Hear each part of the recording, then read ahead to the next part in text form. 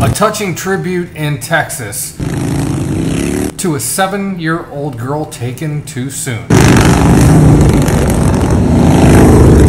More than 250 bikers rolling out to show support to the family of seven year old Athena Strand. The little girl was playing in front of her house when a contracted FedEx driver allegedly hit her. Even though she was barely injured, the driver freaked out and kidnapped the little girl, according to court records, murdered her, and left her in a field. Now, bikers are among those demanding justice for Athena. So far, the company that hired that driver has not talked about his background. Police say there's surveillance video of 31 year old Tanner Horner putting the little girl in his truck.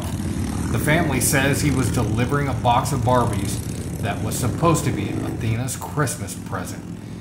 He's charged with murder and kidnapping, and prosecutors plan on seeking the death penalty.